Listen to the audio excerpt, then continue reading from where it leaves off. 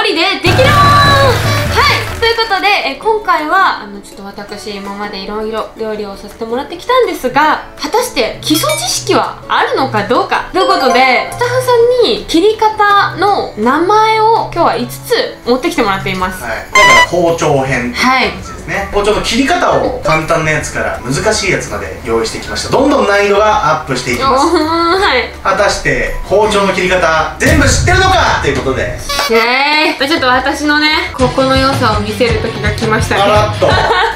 大根とまな板と包丁を用意しました、はいはい。はい。ということでじゃあちょっとね今回はそんな感じでやっていきたいと思いますので最後まで見てってください。早速。おや。難易度、はい。星1 1みぞさん。薄切りをしてください。薄切りですね。かしこまりました。薄くならんはい輪切りの薄切りです。正解！イエーイ。まあ分かってますね。はいはい。えー材料を薄く切る切り方ですね。幅は 1mm 程度。材料を端から薄く切っていく切り方がこれ薄切りということで。まあまあいやいや。これはね教科書にも載ってる。載ってますやつですからきっと。ということで難易度。星2みぞさはい。んいちょう切りしてください。かしこまりました。あ居酒屋じゃないんだよな。違うあえそれいちょう切りでいいですか？違います違います。いちょ切りですね。待って待ってそ待って待ってれでいいですね。違います違いま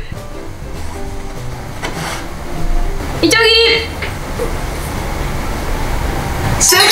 りイエーイ。まあまあまあそんなもん喜ぶレベル。あ生生、まあ、あ美味しい。全然生で食えるけど豚汁とかに入ってるイメージですよね。あそうですね。一応切り口の丸い材料を縦半分に切ってさらに縦半分に切って合わせて端から厚みを揃えるように切ると。いちょう切り見事正解っていうことイでエーイ。5個目までパンパンパンパンいって確かに。終わるのが一番いいですもんね。もう知識豊富な、はい。まあまあ一人でできたねってなりますからね。いきましょう。はい。難易度星3 3みぞさん。はいさいの目切りしてください。さいの目切りねあら。かしこまったよ。めちゃめちゃドヤ顔が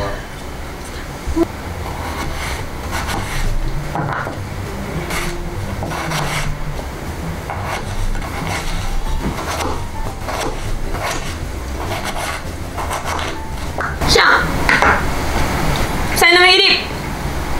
正解！イエーイ。もう余裕の余裕ですね。余裕でしたね。逆に説明できます？さいの目切りの切り方は。い、さいの目切りはですねサイコロのような四角い切り方なんですけど1センチ角で切るのがさいの目切りですね。すごい。もうここに説明通りの今の頭良すぎるぞ。材料はサイコロのように正六面体に切る方法と、はいで約1センチ角の表示切りしたものを端から縦横と同じ長さで切る。はいはい。これがサイの目切りという。表紙切りって言いましたけど表紙切りっていう切り方もあるんでねあこれから出てくるってことですか？出てこないです。あーびっくりした。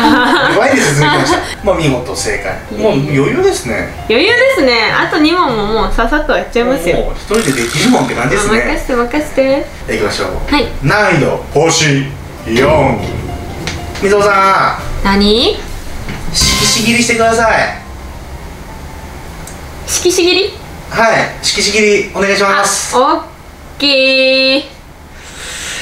色紙切りねはい早く包丁持ってください色紙切りちょっと待ってあどうしました初めて聞くんだけど私色紙だから多分なんか正方形の薄めってことかな、まあ色紙っぽい形にすればいいのよね要はでもこんな切り方の調理見たことないけど色紙切りうーん正解まあギリチョン正解ですかね。ギリチョン？サービス正解ですサービス正解？え嘘嘘正解は？材料を名前の通り色紙のように正方形に薄く切ること。で一般的に一辺の長さは1センチから3センチ。厚さは1ミリくらいってあいうのであ厚さは OK だ厚さは OK ですけどちょっと若干長いかなっていう感じなんですけど。まあ、3センチですもんね。それだと3.5センチですかね まあだから次は街中で「ちょっと水野さん色紙切りして」とか声はい。かけられたらもうすぐできますよね。あもうもうじゃあちょっと包丁と大根お願いしますって言いうますね。感じですね。ということでないわ。どんな状況？よいきましょう、はい。ラスト。難易度。星5ラスボスですね。水野さん。はい。千六本切りしてください。千六本切りね。千千六本。千六本？千切りじゃないんだ。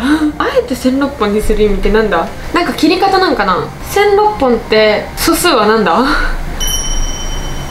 えきっとなんか私の予想では半分の半分の半分の半分の半分の半分の半分みたいな切り方をしてでも16本になるぐらい細く切る的なやつだと思うんだよね。でもそれがどういう形で行われているものなのかがマジで全然わからん。とりあえず16本切ってみる？ちょっと日が暮れるんで。時間もらっていいですか？うんちゃんちょっとごめんなさい。日が暮れるんでだから千六本切りをしてください。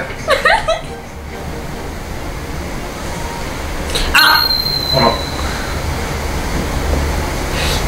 とわかんないな。さっきまでトントントンと言ってたのに。絶対聞いたことない人ばっかだから。じゃあヒント言いましょうか。はい。大根とか人参とか硬い。硬いもの？でもきゅうりとか。きゅうりもできるんだ。全然できますね。これでもできる？ヒントめっちゃ聞いてくる感じですけど。いやこれでも当ててほしいな。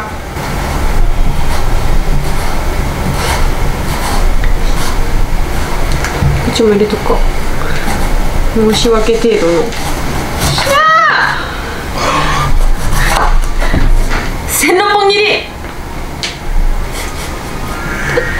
せ残念。難しいよ私お母さんと一緒になっちゃうから一人でできるもんじゃなくて一人でできない一人できないもんお母さんと一緒仕上げはお父さん。ということで、はい。千六本切りはえ材料を、まあ、4 5センチの長さに切って縦2ミリの厚さに切ってさらに繊維に沿って縦2ミリ幅に切ったものを千六本切りと言います。で細長く切るのは千切りって言いますよね、はいはいうん。それよりやや太めでマッチ棒くらいの太さに切ったものを千六本切りと言います。千切りと細切りの間じゃなくて千切り細切り千六本切りってこと？そういうことでございますね。へえちょっとこれまたあー勉強になりました、ちょっとレベルアップしましたね。ですね。いやーちょっと悔しい。今度から千六本切り使ってレシピ作ります。あらやりましたね。